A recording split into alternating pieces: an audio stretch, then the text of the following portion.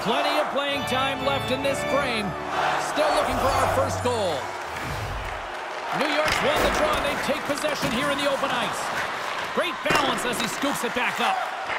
And somehow he hangs on. The Rangers gain control of the puck. Quick feed to Trocheck. Dishes it to Lafreniere. Oh, hello. Comes up with the puck with a quick steal. Nice flick of the stick. Here he is with the backhander.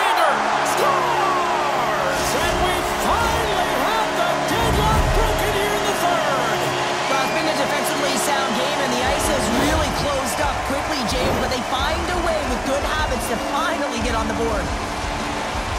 This is an incredible move to the backhand, James, to be able to beat the goaltender, but I also love the spatial awareness, knowing exactly where he is on the ice and how much time he has to make that move.